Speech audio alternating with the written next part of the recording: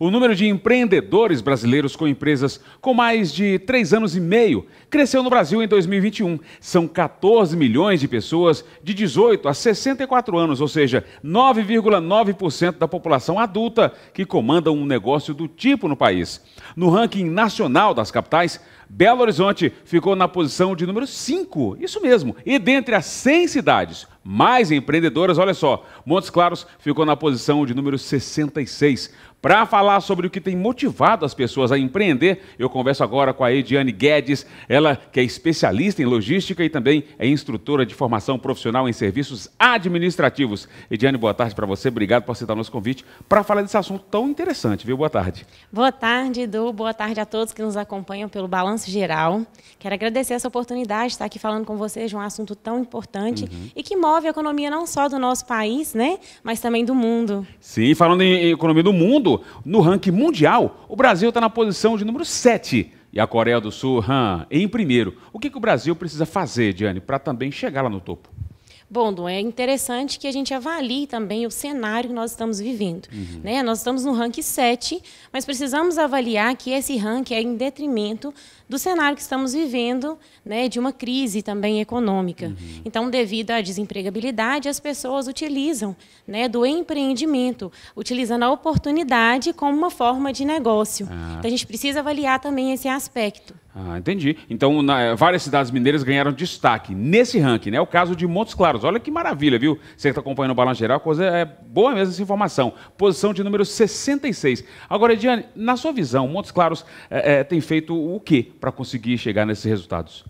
Bondo, é, o pessoal em Montes Claros, os gestores em Montes Claros, os empreendedores em Montes Claros, têm uma preocupação muito grande em capacitar os seus uhum. profissionais. Inclusive, nós, do Senac Minas, recebemos inúmeros alunos né, para essa capacitação, para entregar ao mercado profissionais qualificados, uhum. para poder guiar essas empresas dentro de um planejamento, dentro de um orçamento, de uma visão mercadológica efetiva, para que essas empresas possam consolidar dentro do mercado. Ah, isso é maravilha. O que, que ainda precisa ser feito? Feito para que essa melhoria aumente mais? Bom, Do, estamos melhorando. Precisamos ainda mais claro. capacitar os nossos profissionais. Ah, né? Ainda existe uma demanda grande para que isso possa ser efetivo. A conscientização dos empreendedores. Né? Não é só ter criatividade, é preciso ter qualificação para engrenar no mercado de trabalho. E principalmente para se manter no mercado. Esse é o grande desafio, ah. manter. Os empresários, é, haja vista, nós tivemos aí nos últimos dois anos 600, mais de 600 mil. É, empresas que faliram. Sim. Né? Então, nós precisamos rever este conceito também, para que as empresas não só sejam abertas, mas que elas possam também se sobressair e se manter dentro do mercado com qualificação. Então, capacitação é a palavra. Exatamente. Precisamos qualificar. O Senac Minas, em Montes Claros, ele está aí aberto para atender essa demanda aí dos empresários. Ah, maravilha. Agora, você acredita que a burocracia no Brasil atrapalha o desenvolvimento do empreendedorismo? Pelo contrário, Du.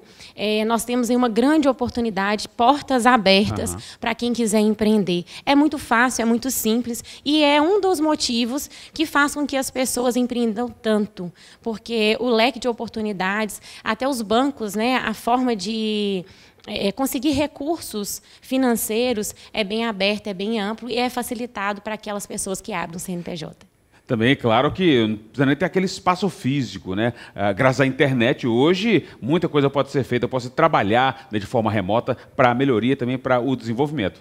Com certeza. Estamos aí com uma variedade de e-commerces, uhum. né? as startups também. Então, nós temos muitas empresas aí que utilizaram dessa uhum. oportunidade, inclusive com a pandemia, né? que forçou os empresários a estarem utilizando o recurso da internet para estar divulgando seus produtos e atendendo de melhor forma seus clientes, que é a razão de ser de uma empresa. E buscando aí também, usando a internet, a forma de se reinventar para continuar sobrevivendo no mercado. E olha que o brasileiro é um, um, uma pessoa criativa, que se depender do brasileiro, brasileiro, né? O Brasil já estava na ponta, né? Que pensa no povo que é criativo e sabe reinventar, é o brasileiro, né, Ediane? Exatamente. Mas aí a gente precisa de uma dose de profissionalismo, uhum. né? E de qualificação também, para entender como atender né, o mercado, atender a razão de ser da sua empresa, que é o cliente, de uma forma efetiva, para que para que você possa realmente sobressair dentro desse universo gigante aí do mercado. Principalmente quando né, o assunto se, se direciona para pessoas que têm empresas da família, ou seja, ser empreendedor nato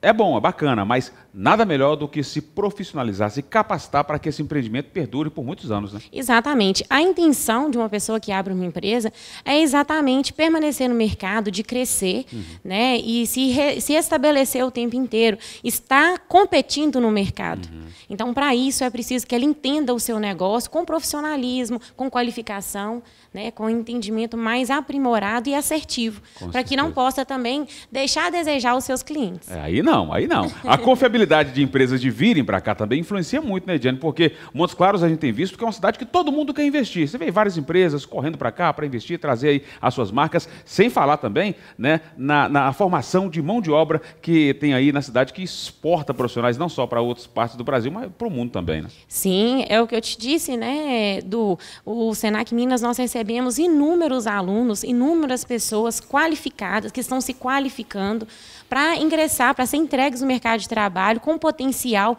para exatamente erguer todas as empresas aí que estão no mercado. Esse é um grande sinal de que nossa, nossa região é rica, tanto em conhecimento quanto em criatividade e riquezas naturais também. Se a gente estava até falando aqui em off né, de, de, várias empresas que acabam quebrando, porque não investem né, no, no, no, no profissionalismo, na qualificação no, do, do seu profissional. E, claro, isso é muito importante, até porque o próprio gestor também tem que evoluir, passar por esse processo de evolução, de capacitação para não quebrar, né? Sim, ele é o principal. Ele precisa se conscientizar.